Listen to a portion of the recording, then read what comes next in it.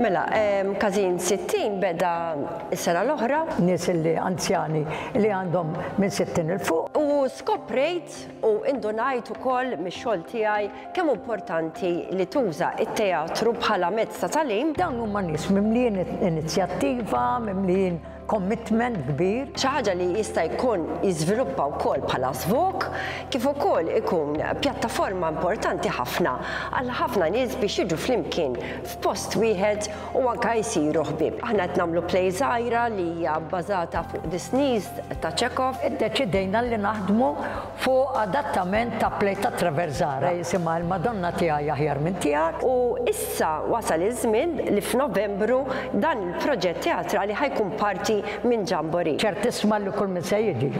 Se gost, se joħroġ minn hemmhekk nittama ferħan ħafna iktar mill-li kun daħal.